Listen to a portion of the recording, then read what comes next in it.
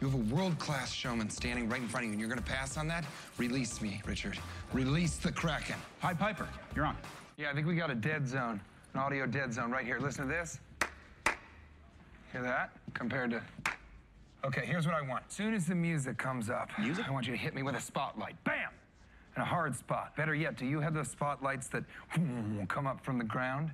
I- I like can- in pride fighting? I, I can check. Okay, so two of those, one on each side, and then one in the center, so that it casts my shadow behind me, like a giant looking over his own shoulder.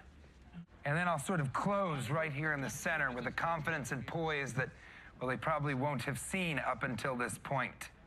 And then at that point, we've got some photos that we're going to throw up on the big screen. Photos.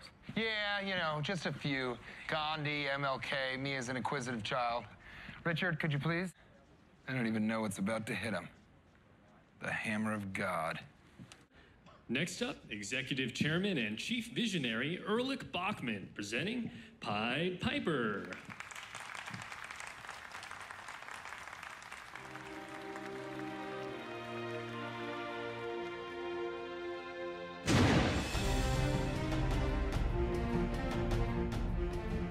Since the dawn of time, mankind hath sought to make things smaller. But until now. No, no! Jesus Everyone remain calm, stay in your seats. Everything is under control. Lights. I think he knows. Drive